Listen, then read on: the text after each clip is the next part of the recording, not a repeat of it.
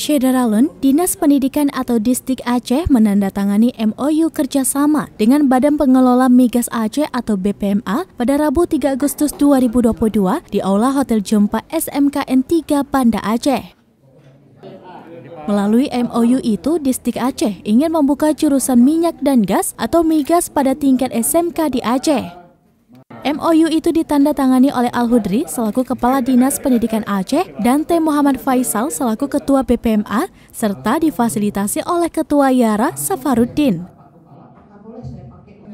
Dengan menggandeng BPMA, Distik Aceh berharap bisa segera mewujudkan jurusan migas pada sekolah kejuruan di Aceh.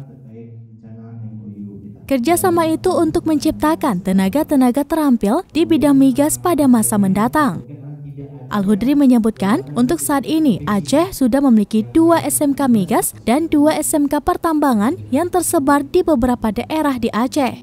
Sehingga ke depannya akan terus dikembangkan dan digodok kembali.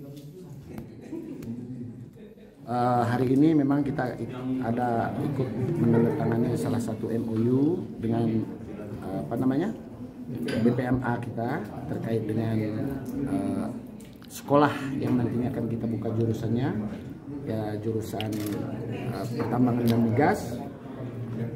Kenapa itu sangat penting saya pikir supaya nanti masa depan anak-anak Aceh ini betul-betul bisa menjadi tenaga kerja yang sangat berkualitas. Itu yang kita harapkan.